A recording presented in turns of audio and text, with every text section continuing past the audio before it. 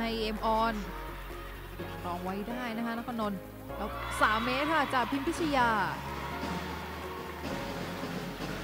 อืมพอขยับต้นขยับเป็น 4 ต่อ 6 ต่อ 9 ค่ะเสิร์ฟไม่หยุดเลยค่ะพัทราทิพย์อ่าแล้วคราวนี้ค่ะพิมพิชยาตีฉลับบอลออกไป พัชชาค่ะเสิร์ฟ แรกสวยค่ะ ไหลมาลูกนี้โอ้ยังเก็บไว้ทันนะคะนครนนท์ย้อนข้ามมาก่อน เปลี่ยนมาหัวเสาติดบล็อกค่ะยังเก็บไว้ได้อะผักข้ามมาก่อนนะคะแก้วกัญญาแล้วพิมพิยาตีเป็นบล็อกเอาท์ค่ะ ทางขอนแก่นค่ะพิชยาตีมาค่ะจังหวะลุกเลี้ยงหลังลูกนี้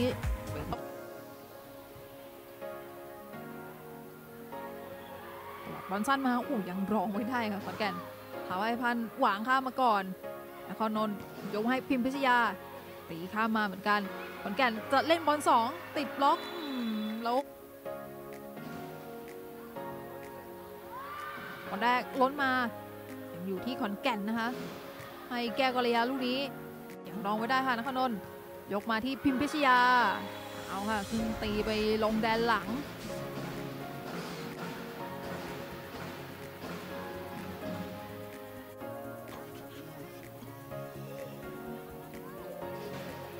สั้นมาลูกนี้ติดบล็อกค่ะจังหวะลูกของทางอนงพร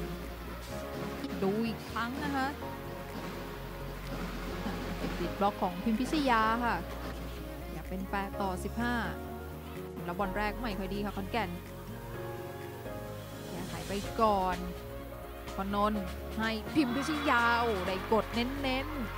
ๆเอาค่ะขยับมา 9 ต่อ 10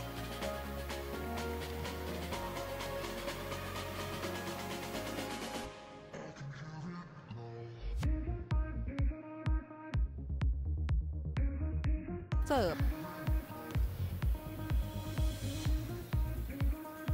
ให้มาหัวเสา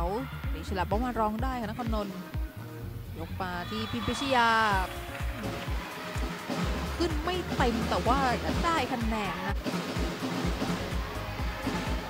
นี่ค่ะ